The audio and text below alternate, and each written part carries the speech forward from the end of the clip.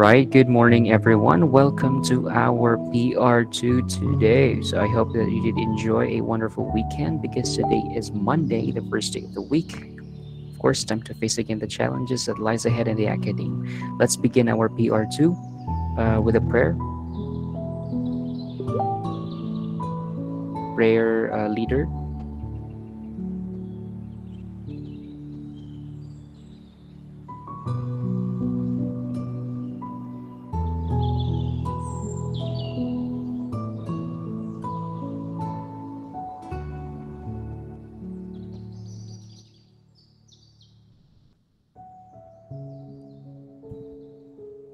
may we ask who uh, the prayer leader for today is?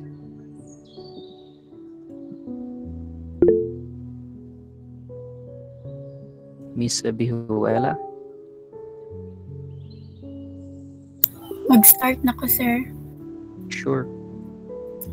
In the name of the Father, the Son, the Holy Spirit. Amen. Heavenly Father and your beloved Son, Jesus Christ, thank you for another life to enjoy, another day to learn, and a new set of things we will experience. As we go through our lessons today, may let us be instruments to do good things, help us be obe- obedient, honest, and kind to one another.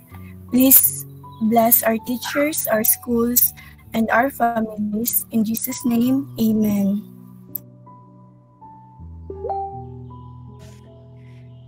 Amen. Thank you so much, Miss Abayawala, in giving the opening prayer. Right, so let's begin our, or the continuation of the, shall we say, checking of our performance task. Last week, we start with a group of Miss Aguinot, if I'm not mistaken, and we ended with a group of Miss uh, Canibel. Tama ba ko? Yes, sir.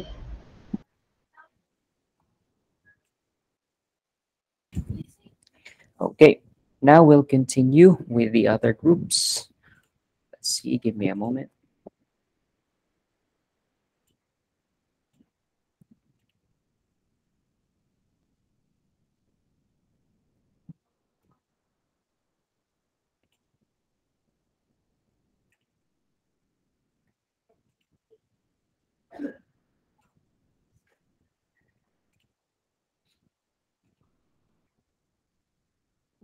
Right, now let's jump to the group of Miss Miss Dumankas. Topic is the experimental study of the effectiveness of chamomile tea. Am I?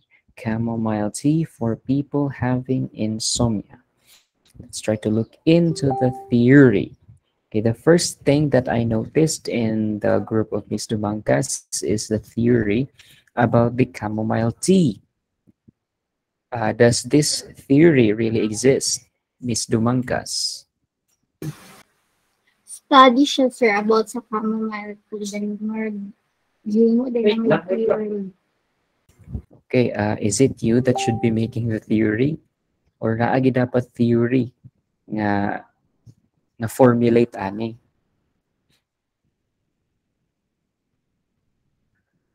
Okay, so uh, wala tay power no as researchers to make a study a theory. Okay, dili ta pwede nga ana study na ni himuon ko ni siyang theory. Okay, dili na siya pwede. Okay, so we have to look for a theory that would help uh, support our experiment.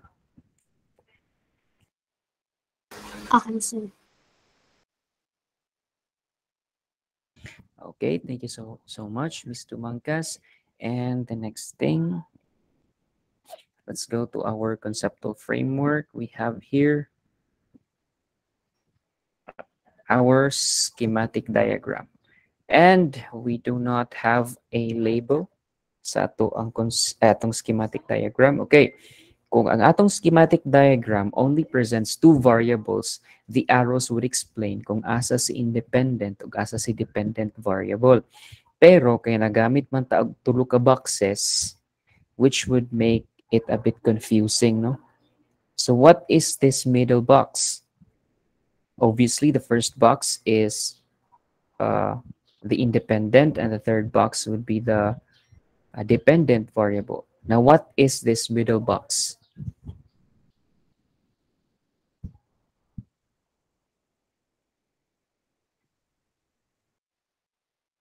About sa benefits nilang mag-sir.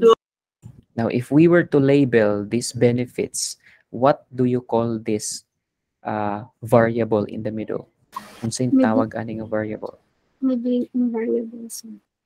Okay, mediating variable. Okay, so muna siya ato ang buhaton sa ato ang schematic diagram. So kay wa ta kabalo og mediating ba ni or basin og moderating variable ni siya. Lahi ra ba si mediating si moderating, lahi pud si intervening, lahi pud si control variable. That is why kung more than two boxes na ganay nga ato ang schematic diagram, we have to label na. Kung duha lang ka boxes, pwede na ta dili mag-label because that's obviously the dependent and independent variable. And to determine or to identify which between the variable is dependent or independent, then makita na nato na siya kung asa nag-point from or asa nag-point to ang atong arrow. Again, kung more than two na ganing ang atong mga boxes nga gigamit, which means we are presenting more than two types of variables, which could either be na atay mga moderating, intervening, or mediating variable. So, kinahanglan nato ni siya i-label kung unsa ni siya nga variable. Moderating ba or mediating variable. Okay, Okay, sir. Thank you. all right. Okay, thank you so much. Now, let's go. So again ha, there is no need to label the description as description. Pwede na ta mo diretso sa ato ang kuan. Diretso sa ato ang uh, tawag gani? Mo diretso sa ato ang description without writing the word description. So pwede na ni nato siya i omit. Oh, sorry. Yep. This one. So, pwede na nato i-omit ng word niya, description. Ang diretsyo na ta sa the therapeutic, the benefits, and the efficacy uh, are determined by the amount of chamomile tea consumed, which is the independent variable. And the outcome or the therapeutic benefits, quality of sleep. Okay, we have uh, to reconstruct our sentence. Then it's the last.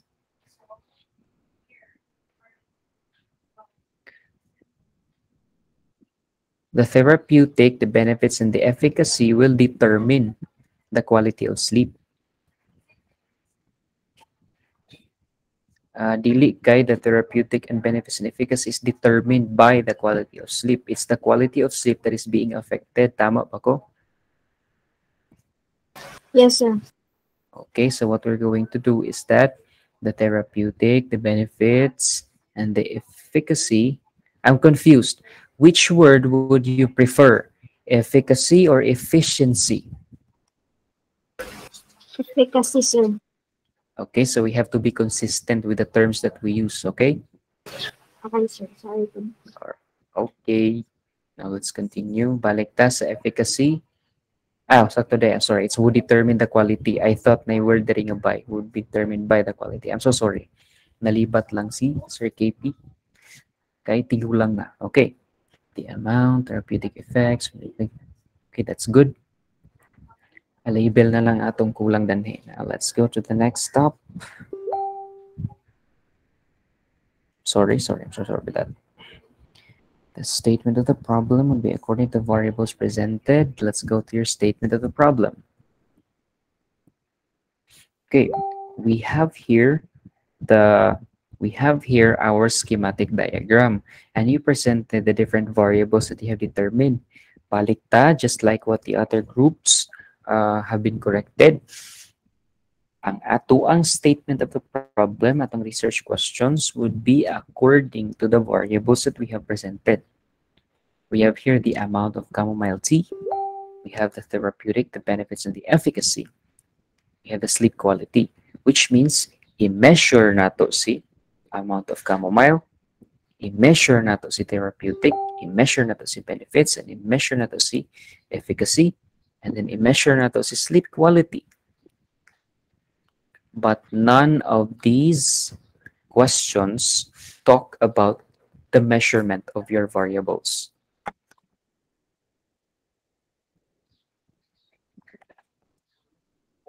Okay, ba sa grupo ni Ms. Dumangkas? Yes, sir.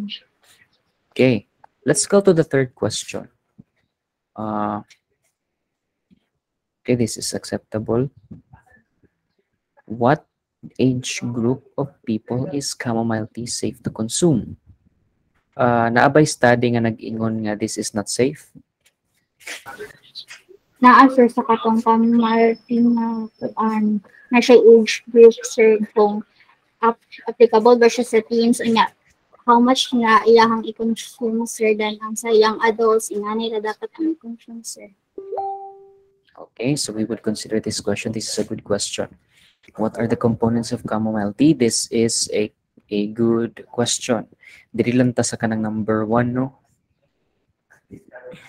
Is chamomile tea because if we are to answer uh, two and three, then ma-answer na po ni siya si question number one. So there is no need to write this. There is no need to include this sa question number one. So again, tanaw na sad nato atong variables. Okay, ah sakto na ni siya inyong 2 and 3. Ah dugangan na lang nato og questions about the uh, about uh, the other variables in your study. Okay, sir. Thank you. Okay, and don't forget to ask question about the, the quality of sleep. Okay, let's try if I still have something on my notes. Okay, okay na to siya. Na take note, uh, Miss uh, Char Charmaine. Yes, sir. Okay, thank you so much. So maulan to siya ang correction sa inyo ang performance task. Now let's go to the next group. Let's go to the group of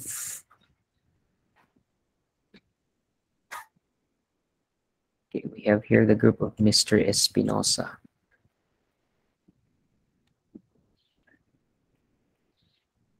Topic is the analysis of disease data that we can inherit from our lineages. Hmm. We have here the theory of heredity and Mendelian genetics by Gregor Mendel. I remember this theory. And then your statement of the problem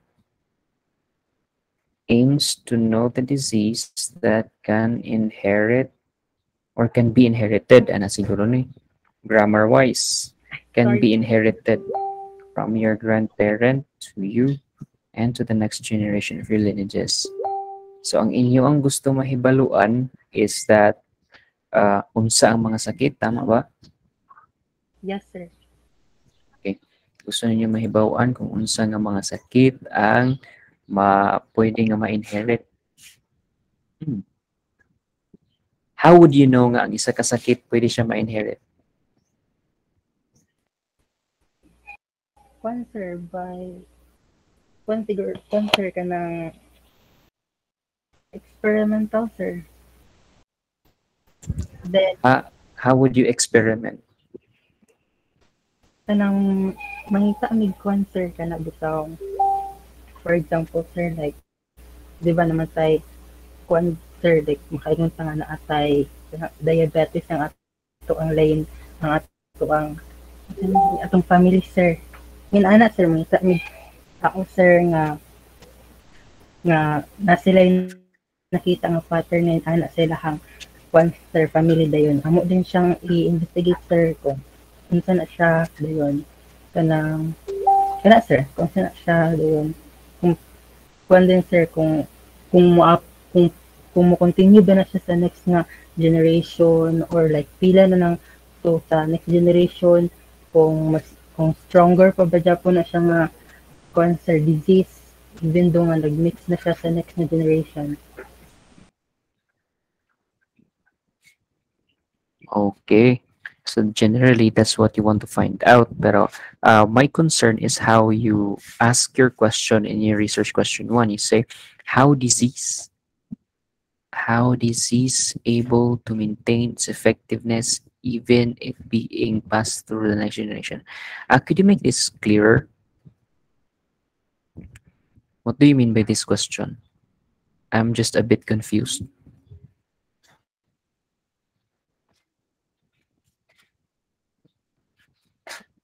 One sir, di ba sir, eh? di ba sir, kanang, di ka naman sa itong parents parents or like sa itong grandparents sir, nya, until, until now sir is, kanang, nakita dyan po na ninyo nga disease sa inyo nga sir. Like, di ka naman sa parents sir, effect sa next ana nga generation sa imo sir nakita man ning sa inyo sa next generation ana sir is kanang un, unsa siya ka effect unsa unsa siya ka effectiveness nga makita po ninyo makita jud po ninyo siya nga pattern even though kasi yung grandparents na mix siya sa inyong na, na mix na siya sa lain nga kuan sir lupot na mix na po din siya sa pikas niya ika fourth na ba ako sir generation so unsa unsa ka effectiveness nga mugawas po na siya nga disease sa next generation sir Okay, uh, well explained. However, is it proper to use the word effectiveness as to the passing of the disease from one lineage to another?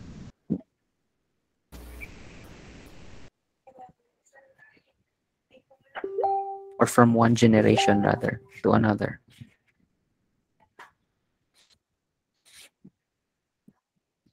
Uh, could you could you think of a more appropriate or yes more appropriate word for this.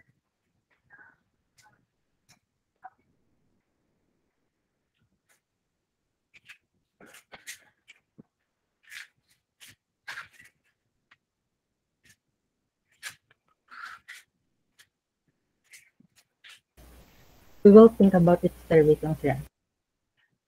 Okay, so while you are thinking about it, kaning inyong question number three ba? on a 1 to 5 scale, 1 is the lowest and 5 is the highest. This is a question that is intended sa inyo ang research instrument, not on the statement of the problem. Okay, because this is uh, the instruction or this is a question for the gathering of the data. Na. So, are we need to wala na siya, sir? reconstruct. Reconstruct sir. Okay. We have to restructure this. Okay. Uh, while you are still thinking of the word, unsay mas nindot nga word no sa in in substitution or in replacement rather sa word effectiveness, let's go to your conceptual framework.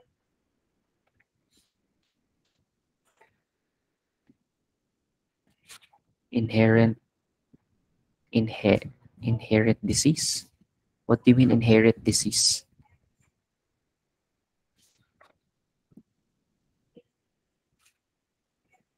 Atong cancer, katong mga napasan ninyo mga gigigikan sa inyo ang cancer, previous generation. And then how is it? Okay, I'm confused data analysis. Na, na, confuse ko sa inyo ang kuan inyo ang concept of schematic diagram. Data analysis heredity produced and have their inherit disease dependent. Uh, pwede may explain mo ang ang relationship ani nga mga variables ninyo? Nganong kani ang nahimong dependent? Nganong kani ang nahimong independent? Nganong kani ang nahimong mediating variable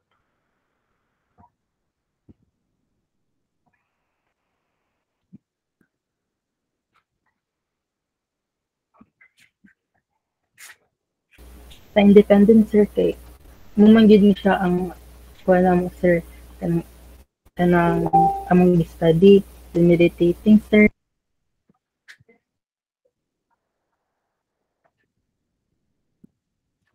Okay. Isa atin pa. Uh, one of your variables is data analysis. Are you sure this is a variable in your study? Data analysis is is one of the processes in the conduct of research overall. Not totally. Okay. Therefore there is a need to uh, shall we say restructure your schematic diagram your conceptual framework so identify your variables in the study. Let's see. Analysis of date of disease data that we can inherit. from our lineages.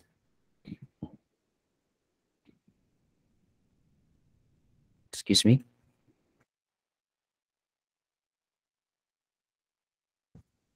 Okay, so identify what the proper variables should be placed in your in the in your uh, schematic diagram and then uh, i-pattern ang ato ang research question according sa presentation sa ato ang uh, presentation sa ato ang variables study.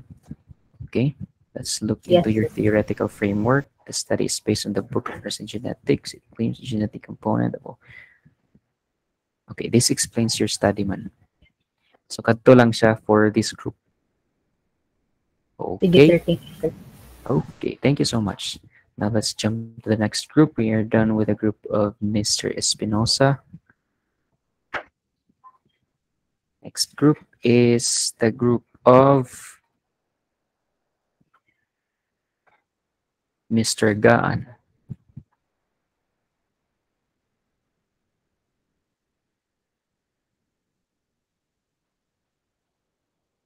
Topic is a quantitative study of aloe vera's properties and its effect in healing the epidermal wound. So let's go to your theory. Research Framework 1. The title of your theory says the effect of aloe vera clinical trial on the prevention and healing of skin wound by the David David Hekmatpur. Now, question, is this a theory or a title of a research study? Kuha na siya sir, wrong siya sir kay title siya sa kuan related article nga mong ang akong nakuan sir nabasa. Okay, thank you so much. So look for a theory ha, in replacement to this. Yes sir. Okay, and make sure that this theory is relevant and uh, would be a good backbone for your study. Right, now let's go to the next. See, okay, I'm confused with your arrows. Uh, pwede ma-explain mo inyong conceptual framework? Ah yes sir, ang kanang conceptual framework na mo sir kay na-base na ko siya sa kuan sir sa theoretical sir bali dapat sa among study dapat siya na kuan sir. Okay. The use of arrows, again, the use of arrows in our conceptual framework atong schematic diagram is very crucial. So, dili pwede nga mag ah, basta-bastahon lang nato gamit ang arrow sa atong schematic diagram. Nagi na siya bearing permanente asa ang makaapekto kinsa ang maapektuhan. In your conceptual framework, it shows that the aloe vera affects the ah, affects the effect of aloe vera in clinical trial. The aloe vera affects the wound healing, inflammation, and thromboxane. The aloe vera affects the healing of skin wound and it affects the prevention. That's what your schematic diagram suggests. It's because of the misuse of the arrows. All right? Yes sir. Okay. So now let's try to look into your uh your variables. Your independent variable is the effect of aloe vera in clinical trial. What do you mean by this? How is this be, uh, how is this considered an independent variable? The effect of aloe vera in clinical trial. Bali mo na siya sir ang kuan ang study bitaw na mo sir. Then related po siya sa among kuan sir sa katong sa related article sir. Dara naka-focus ang among study sir. Generally, yes. Kay gusto niyo tanawon ang effect sa skin wound. Pero, effect of aloe vera in clinical trial, how is the general how is the general goal or how did the general goal became the independent variable?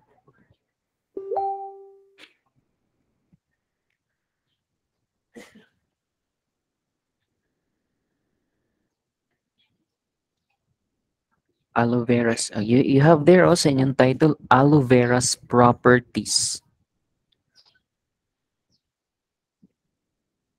pero walay nakita nga aloe vera's property as your variable. So nakita na daan oh, klaro kaayo sa inyong title na ang inyong isa sa mga variables is the properties of aloe vera. Tapos walay nakita nga aloe vera nga uh, aloe vera nga properties sa inyo ang uh, schematic diagram. Ah, yes, yes sir, wrong siya sir kay ang conceptual framework nga diagram kay na base na po siya sa kuan sir sa theoretical dili sa study na mo sir. See, it should al- it should really be based sa theoretical actually. Okay.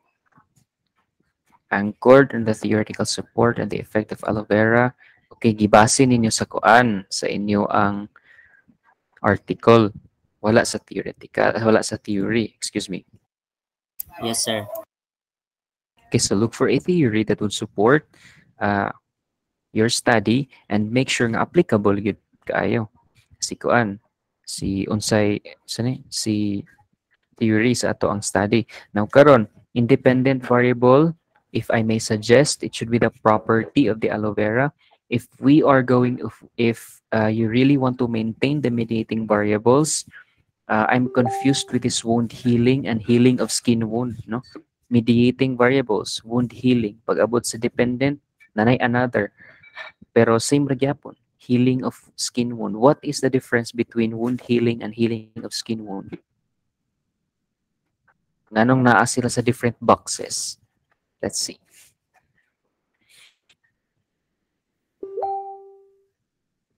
Ah, so kuan sir kanang need na mo kuan ng isa ka variable sir. Okay, same lang sir. Yep. Uh, gusto mong ka ninyo i-maintain si mediating variable. Yes sir. Okay, i-maintain na. Gusto niyo i-maintain. Inyuan ang kuan ha. Inyuan na siyang decision. So we have here the independent variable, the properties of the aloe vera, and how, of course, it uh, contributes to the inflammation at thromboxane kasi the inflammation, uh, kuan man na siya, di ba? Kanang mura og response kaysa ato ang tama ba ko? Response na Yes, siya sa sir. atong lawas para makuan ang mga bacteria, makontain ang mga bacteria. Yes sir. Okay. Mm. And then it affects the healing of the wound and also the what do you mean by this prevention? Prevention of what?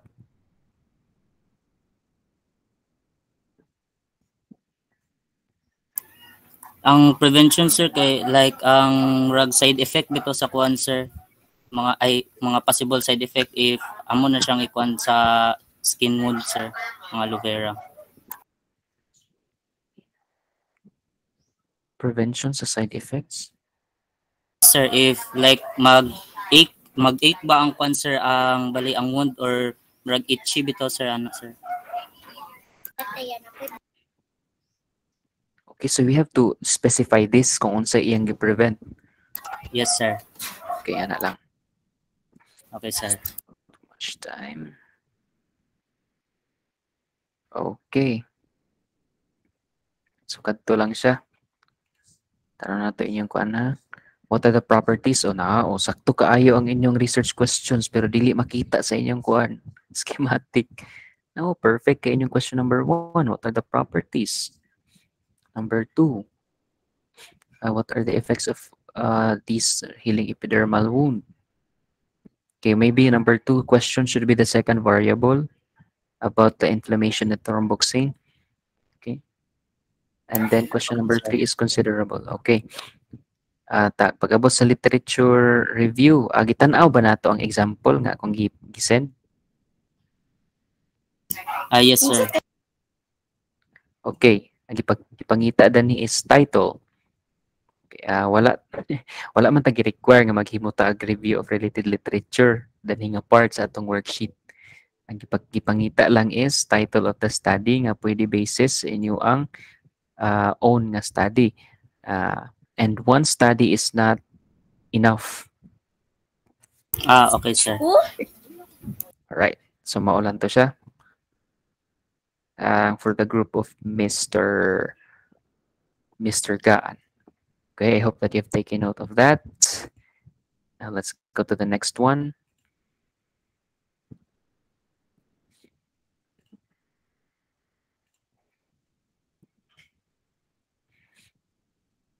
The group of Miss Francine Lacayanga.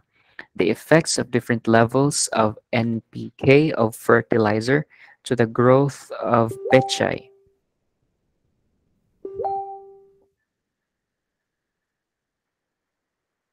Okay, theory is soil fertility restoration theory. Let's look into it states the NPK fertilizer can increase yield.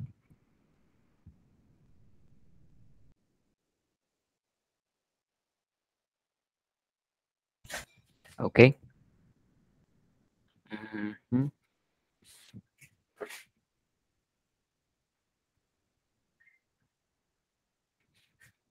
Research questions.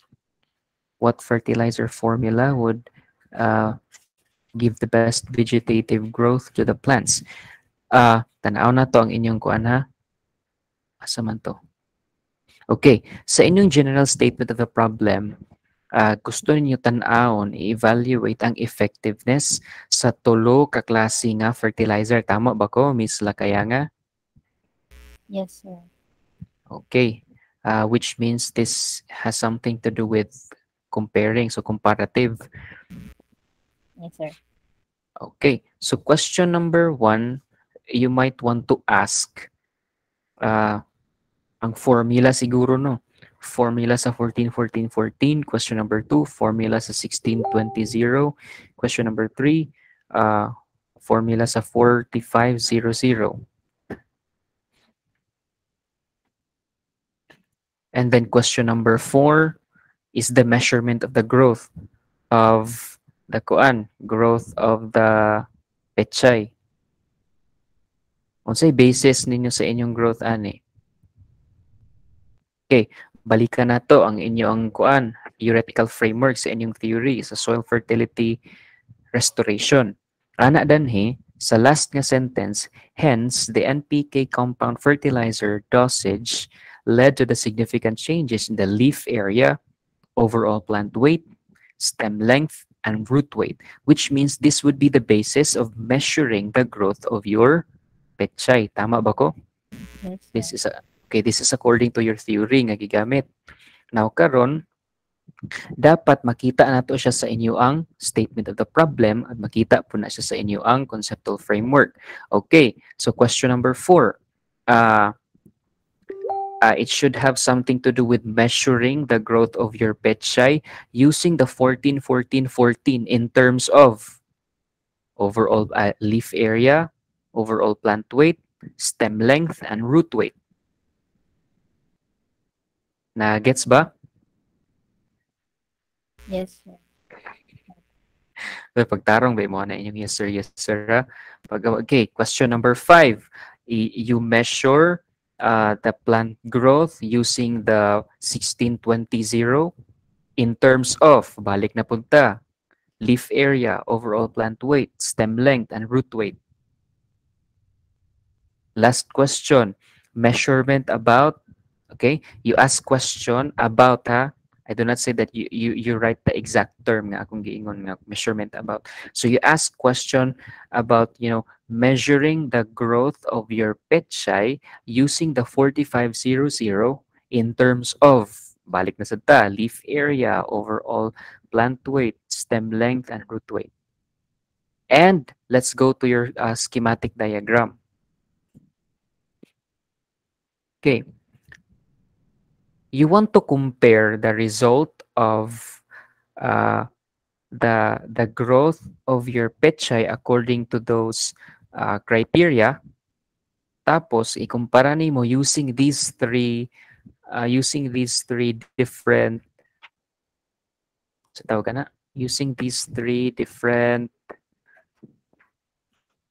fertilizers. Let me ko na uh, let me let me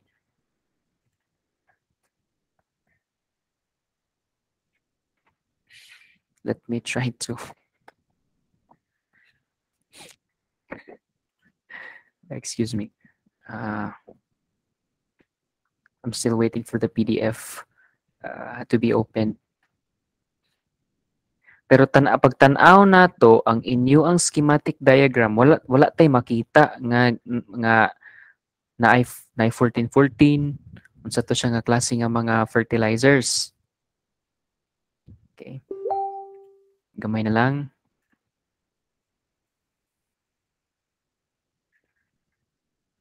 Window.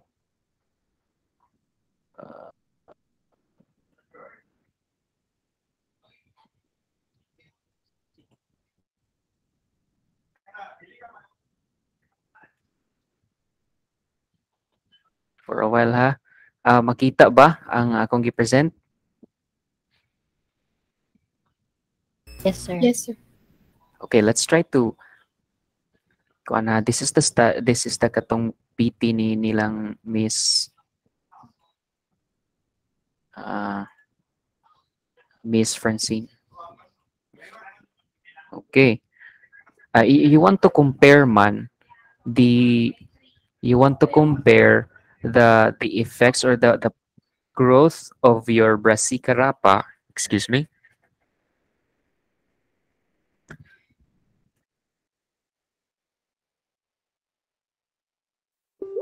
Okay, palikta. You want to compare the growth of your brassicarapa according to, of course, the use of your kaning fertilizers. Now, uh, pero makita nato dani sa schematic diagram wala gyuy kuan. Walay gi-mention about those those si tawag ani? Walay gi-mention about those fertilizers. Okay? So we have two omit this, identify the variables. This is not needed. Okay, sa itong schematic diagram, we should start immediately with the gathering of our materials. Dig the soil. Sige, maumanggaha na inyong process. And then we have to plant. Okay, then add enough water to the planted petchay. Mura, inyo rang giingon kay ani ha, nagtanom mi og petchay. Among gitubigan. Tapos, among gitan-aw ang resulta. Unsa may inyong i-compare karon nga wala man ninyo gi-mention ang inyo ang mga fertilizers?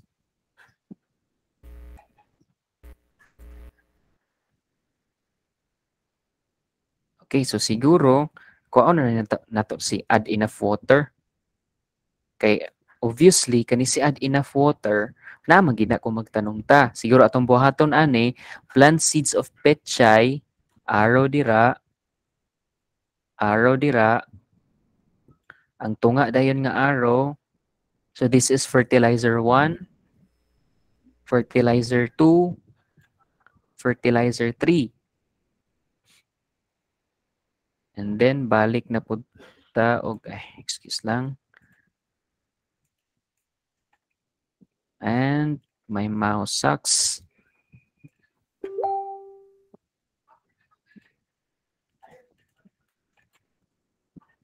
uh, what's wrong with this? There it is. Okay. Bugs.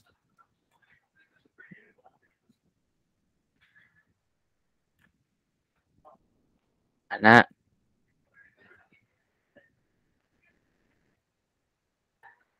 Ko na ni. Nagets ba ang ako ang gi-visualize? Yes, Ladies sir. and gentlemen, okay. This is for uh fer fertilizer 1. This is uh ang pagbutang nato og fertilizer aning nga kuan kani nga fertilizer 2, fertilizer 3 and then git gibunyaga nato siya gi-take care nato siya until the harvest of 30 days. Tapos after that gi-measure na dayon nato. Kay para makumpara nato kung asay nin ah, asay tsada og result si fertilizer 1 ba, fertilizer 2 or si fertilizer 3. Okay? Yes, sir. Okay. So mato siya ha, katong research problem na to kaganina, research question. Let's see. We have three groups remaining and we only have five minutes left. Okay, so balik ta. Hmm. Ah, dapat makita ang ato ang mga fertilizers sa atuang tuan sa atuang schematic diagram. And then tanaw nato be kung gi-explain bagid nato si Oh, na napuntay ko, na confuse ko ano yan sa man eh.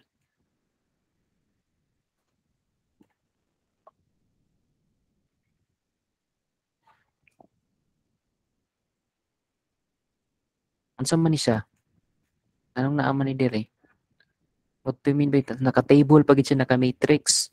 So asa pili lang mo kung sa inyong gusto gamiton katubang mga box box nga katong mga variables or kaning process. Ah, isa ra day Oo. ana sila, sir. Either lang, either. Kay para dili ma-confuse atong mga readers. Okay, sir.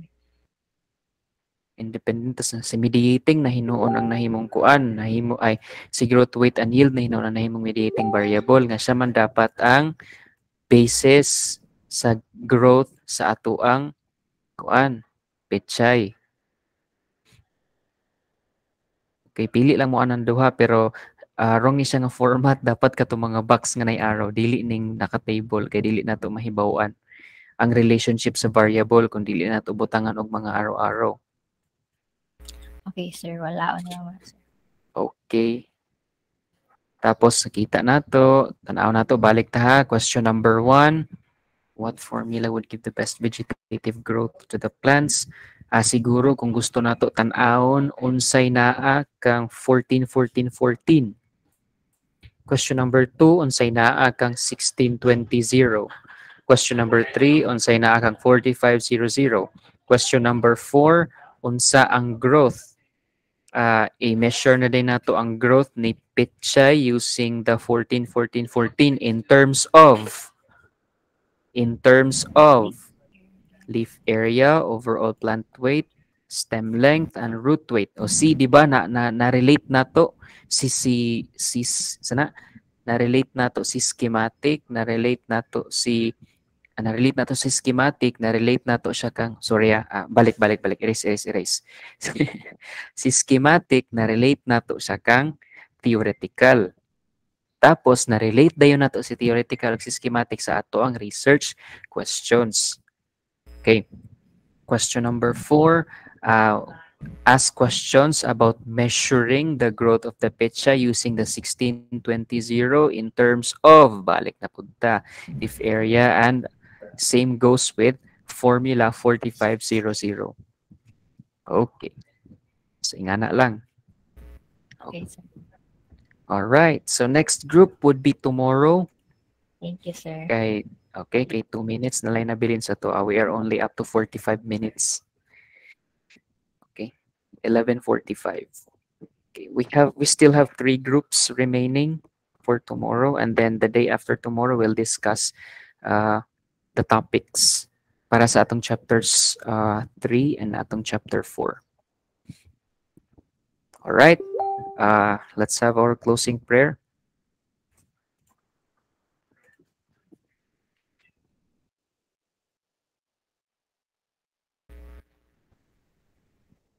Kinsay naka-assign to give the closing prayer?